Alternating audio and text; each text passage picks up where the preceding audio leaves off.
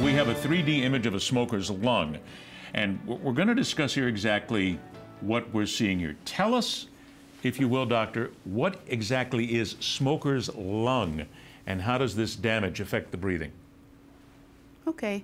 Uh, so smokers' lungs are uh, pretty much the damage or the end of uh, years of smoking exposure to the normal lungs. Um, as you can see here, you see uh, lung start, the coloration is um, already uh, abnormal.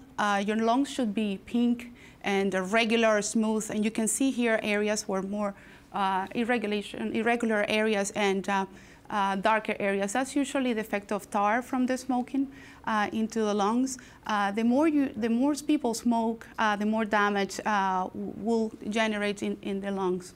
When you're talking about tar being involved in the lungs, again, we're talking about a chemical that is involved, that is created by the cigarette, that then lodges inside the lung. Is, is, that, is that something that, that ever leaves the lung, or is it permanently attached once it gets into your lungs?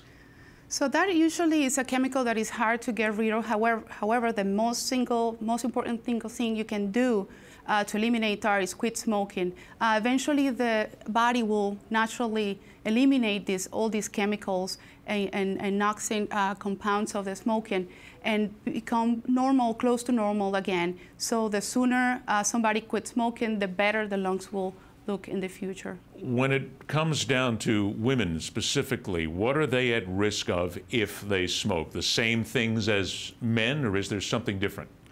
They're usually, the, the risks are usually similar. Uh, there's the risk of lung disease like COPD, chronic obstructive pulmonary disease, lung cancer, uh, many other uh, cancers, uh, including throat or mouth.